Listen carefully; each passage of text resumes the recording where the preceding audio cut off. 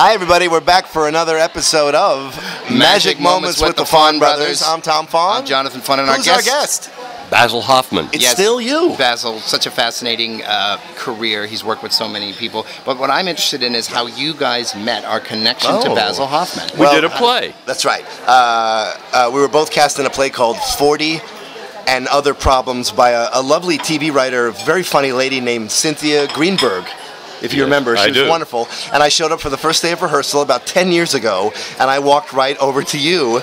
I did not know your name, and I said, You're my favorite year. Oh God, God, this, makes me happy. Which is his line. which we put into our film. We wrote Right. it for you. Well, then we rehearsed the thing, and Jonathan and I had written a script called Old Dogs, not the Robin Williams, rest in peace, Oh, that's Jo- a great movie. Yours is not good as mine. Oh, yes, very good. not oh. the Robin Williams, John Travolta.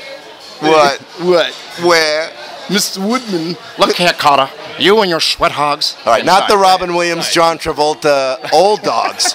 We wrote a film called Old Dogs. We've right. now, we're still uh, Yeah, that's shopping it around town. It's now called hashtag Old Dogs, Right. and it has kind of the same right. themes But- of uh, uh, Going in Style, which is coming out now. so you is, see Basil in Right. the rehearsal. But right now, Jonathan and I, at this point, we wanted to shoot a short film.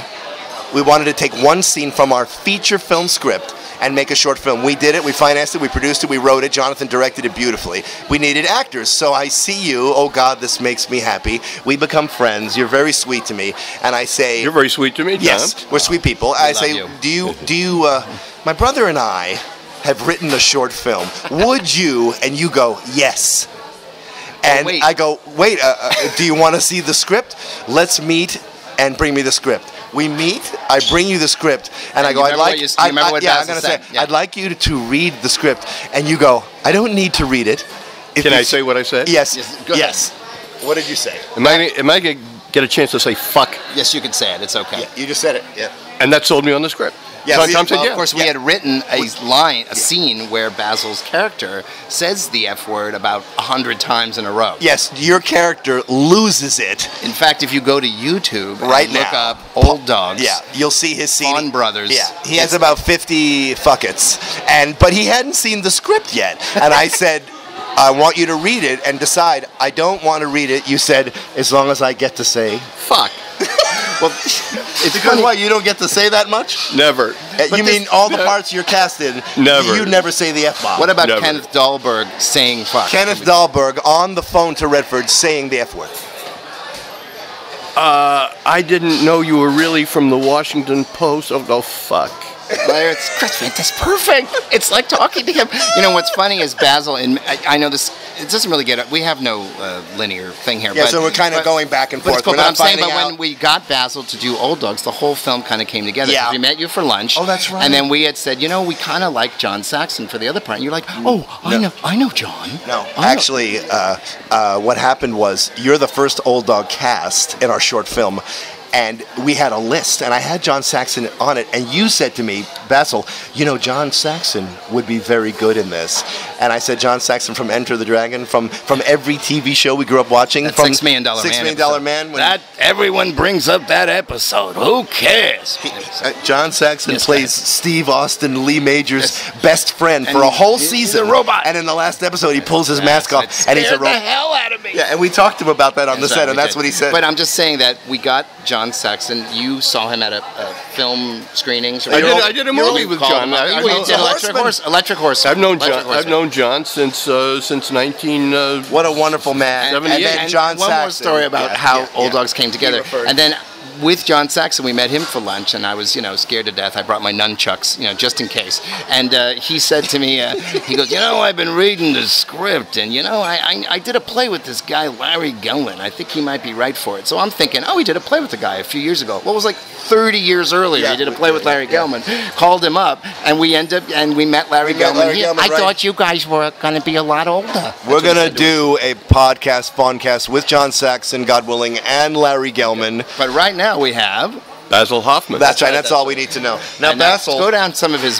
his, his I'm gonna name credits are off of. IMDb just some of the TV shows that he was on. Okay. Okay. West Wing, The Practice, of course. Uh, The practice with William when William Shatner was on it, or no? After that? No, no, that, no. Before that, the No, no. original practice. yeah, but let's go way back. go back, go back. Cagney and Lacey, give me a break. Square Pegs. You're the principal on Square Pegs. Principal Dingleman. It wasn't. Isn't that a young Sarah Jessica Parker? Young Sarah Jessica was Parker lovely and was one of the. That's what I want to hear. She was she was nice, cute. She's I, I, I didn't I didn't I didn't have any. Uh, I didn't notice that any any of the kids were, were not were not good or not not behaving. Fantastic. You couldn't tell that any of those kids were gonna. Who were the other Square I had no idea. Go down I don't those the other other. The, uh, Uh, the the other the other lead Oh, girl wait. the other lead girl was a girl named Amy Linker, Right. and I don't know where Amy is now. She's at the next booth here at Jerry's. Now, wait, Wait, I, you're in night I- shift? Night shift. I, I was an usher when that film, like 1982, I believe, was my first job. I was Night working shift, at the directed theater. and I- by. Ron Howard. Ron That's Howard, right. and uh, you're the mayor's like associate mayor or something, and they destroy your office. You're trying to give them a deal. I'm the lawyer. You're the lawyer. I'm, I'm the lawyer. The, like- the hookers. The hookers. The hookers, Fix me the up hookers. with these guys because they need a lawyer. That, that's in night shift. Yeah, yeah. That was Ron You'll- Howard. you'll He was terrific. I- lord. I- I hear he's the greatest director to work with. He's a fabulous director, and I have a funny story about the audition because after Please I had done us. after I'd done eight or nine big budget Hollywood movies, uh, that picture Night Shift was the first picture I ever auditioned for that I actually got the job. I had never auditioned for any of those other pictures. You had been requested. Yeah, So now you had way to another. humble yourself like the rest of so us and so audition. so uh, what happened was that, before Basil before the audition, uh, I'm in the room and Ron says, "Now Basil, the way I see this character," I said, "Ron, would you not tell me? Oh. Let me let, let me just do it, and then." And then, then you can tell me what you think. And the reason I did that, and it's what I do when I audition, because I don't want to be thrown off of what my homework tells me Right. I should be doing. Right. Right. And uh, if if I had been off or not been right or needed direction, Right. then Ron would have had the option to direct me if he wanted to, or not hire me. But in this case, he hired me, and that was it. Well, Wow, you so know, not at any point uh, Henry Winkler come in and go, Hoffman, my office right now. Like that never happened. that never happened. was, uh, uh, I, I have another non-auditioning Henry job, by the way. How was Henry Winkler and Michael Keaton to work with? Uh, what were they? they were great. Michael Keaton was unbelievable. That was his That's first one of those, you know, that's one of those, every now and then you'll see a film and you'll go, who is that guy? You know what I mean? And I I think he was Yeah. kind of the who is that guy moment in that Wait, movie. He was, was so this? incredible. You had another that. audition. I have another. I have another non-audition story. Okay. As I mentioned, I've been blessed in a way in this industry that I don't audition for a lot of stuff. A lot of people just hire me. Mazel Well, tov. well, well, like the Fahn brothers hired me in a in a in a restaurant. That's right. You just wanted to say the F word. I had been. Uh, I had a, a girlfriend years ago. Fabulous. Now we're talking. Now we fabu- got the good fabulous, fabulous. Is Sophia Loren? Fabulous actress. No. And uh, she said to me one day, she said, Basil, I don't ever want to get jobs the way you get jobs. I said, What do you mean? She says, Basil, when I go to work, I want to know that they know what I'm going to do. I said, Oh, well, it's not a problem for me. A couple of years ago, my manager calls me, and says, Basil, do you know a director named Paolo Sorrentino, Italian director? Paolo Sorrentino. I said, no, I don't. He said, well, he knows you, and he's shooting a picture in Rio de Janeiro, and he wants to make an offer. shooting a film in Rio. And uh, and so he made the offer, and I, I, I did the picture, and it was a wonderful. Uh, That's right. I Wait, remember wait, wait, what's the name of that it- film? it- uh, Rio, I love you. Vignettes, different vignettes. Di- And your vignette is with who? Emily Mortimer. She's she's fantastic wonderful. Yeah, yeah. actress. Give Yeah. the name of the film again. Rio, I love you. Rio, it's, it's, a I ter- it's a terrific film. I'm so sorry. So I'm, I'm, sh- I'm shooting with uh, with Sorrentino, and I had an audition for it. Like I don't audition for things. Paolo Sorrentino. And uh, we're out on the veranda of this beautiful home that my character and my little wife, who's played by Emily Mortimer, are Oh, living play in. A rich guy. uh, oh, rich guy with a young, beautiful wife. Nice oh, work. yeah. Behave, baby. You- Hello, Basil. So, uh, uh, Paolo hasn't heard me say the lines. Hasn't we haven't no rehearsal, but we're starting to set up for the camera. and He wants to see how it's going to look. So he says, just you know, s- safety things. And I say about a line. I get about a line out, and he looks at me. Says, "No." No. Says, No. no. And uh, there were a couple of options. I could I could figure out what, what would be a yes, Right. or I could let them put me on a plane back to Hollywood. Yeah, yeah. And and I like the first I- option. I, I, kind of knew I kind of knew where I needed to go, and after that, uh, Sorrentino uh, only gave me one one note in another scene, and he said you could take more time, I'll take more and, time. and that, You that can was take more time. That Why was, don't you take up that- more time? That was that was the only. Only, only other note that he had given me. He's a great, great, and he had won an. Academy Award. Wait. after after I shot the film What? with him, he won an Academy Award for Best Foreign Language Picture for a film called The Great Beauty. Oh, I, I hear that's a wonderful movie, The Great Beauty. It's a Oh, fabulous yeah, yeah, yeah. picture. Now, Is it fun? No, wait, wait. I want to. the Os- you got something, and then I want to talk wanna about the change gears for a Oscar-winning moment. I just really, I know we only have 15 minutes, but uh, Basil is from Texas. Is that correct? That is correct. Now, Yeah, wait, do wait, you- wait, what is the first? Okay, where? Where in Texas? That's Houston. Houston, Houston, Texas. Texas, Okay, yeah. I've been there. Not Now, Houston? I is have a story about that too. Oh, sorry about. Okay, you know what? I'm going to let you just talk. Go ahead. Yeah, Houston, uh, Texas. When we were shooting Ordinary People, uh, Redford and I were walking in Lake Forest Park, just just talking uh, outside of Chicago, or part of Chicago, and we're and, and I had done two pictures with Redford before this, and we're walking in the park, and Redford stops and he looks at me and says, "Where are you from, Basil?" I said, "Te- "Texas, Bob, Houston." And I got this blank stare from Robert Redford. Just looked at me. He says, "No, no." He says, "I mean, where did you grow up?" I said, "I'm from Texas, Bob." Yeah, the- He couldn't. He couldn't. He you- couldn't you get do that. Not look No. like I don't know Well, what he a doesn't Texas. sound- you don't have a. Uh, yeah. You went from Texas to New York. Yeah, and, and I have this look anyway because, and it's the way I dress too. Well, like you I wear wait, jacket and tie every day usually. Can we go to that? I know you have some. Do you have something right now? I do. I just want to know, like, what is the?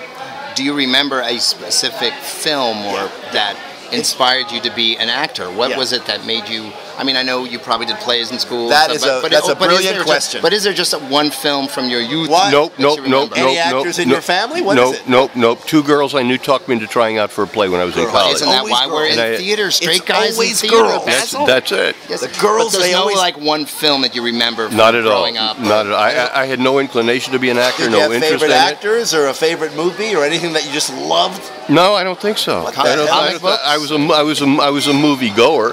Okay. And uh, I, I want to. Uh, I want to. Can I take this for a minute? Sure, he wants- I want to ask you Sure, about cut Basil off. That's fine. Basil always looks. You'll see it in the photo we'll take. Though he has no tie today, and I, I think it's wonderful. He's taking a break, but he's always, always in a jacket and tie, impeccable rehearsals. Every time I've ever seen you, there's a story about that. I want to hear about that. this guy's perfect for a I know, we're gonna have podcast. to First commercial, first commercial I ever did in Yes, sir. Hollywood. This is a great story. I know this. I, I had gone to Is a few Tidy Bowl? auditions and uh, Commercial my, uh, audition and- in Los Angeles. In Los Angeles, and uh, the assistant at my commercial agent's office calls me one day, and I'd only been here from New York for a month or so. She says, "Basil," uh, I said, "Oh, Jill, you have a call for me?" She said, "No, no, no, no, no." She says, "I'd like to. Uh, may I uh, bring up something personal with you?" I, I, I said, "Yeah, Jill. What is that?" She said, "Well, Basil, it's about the way you dress." I said, Jill, I wear a jacket and tie every day. She says, That's it. That's the problem. You're in Hollywood now. It's probably okay in New York. In uh. Hollywood, they want you to be a little more laid back. I said, Okay, I'll take it under advisement. They want A the cou- casual Basil. w- week or so later, she called me. Basil got a call for card players for Miracle Whip salad dressing. Real casual. Do you have any real casual? Do you have jeans? I said, Yeah, I have jeans and sneakers and sweats. You do? I said, Yeah. She says, Well, wear something. So I wear it. I get a call back. She calls me and says, "You see, you see, you see, you see. I told you, I told you, I told you what. And and now, now you got a call back. We're the same thing." So I go to the callback, Yeah. and uh, then a couple of, maybe a day later, she calls and says, "You booked it. You got the job. You see, booked- you booked see, the commercial." you see, you see. I got the, I got the commercial." Yeah. She says, "Now having a wardrobe call." Do you have more of that stuff, more more of what you wore? I said, yeah, I have other jeans and T-shirts and, and stuff. like that." She said, yeah, yeah, yeah, bring that. The unkempt look. The unkempt look. The Fahn Brothers So look. so there are four guys in the commercial, and and the three guys who are playing the other characters don't even own a tie. These are guys you you would know walking down the course, street that, that these are blue collar kind of guys. Right. So the director's picking out stuff for these people and. Uh, Picks out the wardrobe for this guy and that guy, and he says Michael Lerner, who was one of the one of, one of the actors in the Michael commercial. Lerner, I, I saw him in uh, A View from a Bridge years later. terrific actor, Yeah, yeah. great career. So, so uh, he 30 said, seconds so, left. Let him so, finish so, story. so he Let him finish the He says to uh, to Mike, he says, "Yeah, Michael, that uh, yeah, wear that the sweatshirt with a hole. It'll show your fat stomach. Yeah, wear that." And he comes to me. and He says, "What'd you bring, Basil?" And I lay out all of his stuff, all of my t-shirts, sweatshirts, jeans. He looks at me, and says, "You have a jacket and tie?" I said, "Yeah." He says, "He says, here's what we'll do. You won't wear the jacket. You put the jacket over the chair. You'll loosen the tie. You'll be the guy who came to the card game from the office." Yeah, see, because that is you. You were right because that was you. That is you. All right, now look, So we've now reached, we're at the we've end. reached 15 minutes. Yeah, I think what we're going to do is that's it, Basil.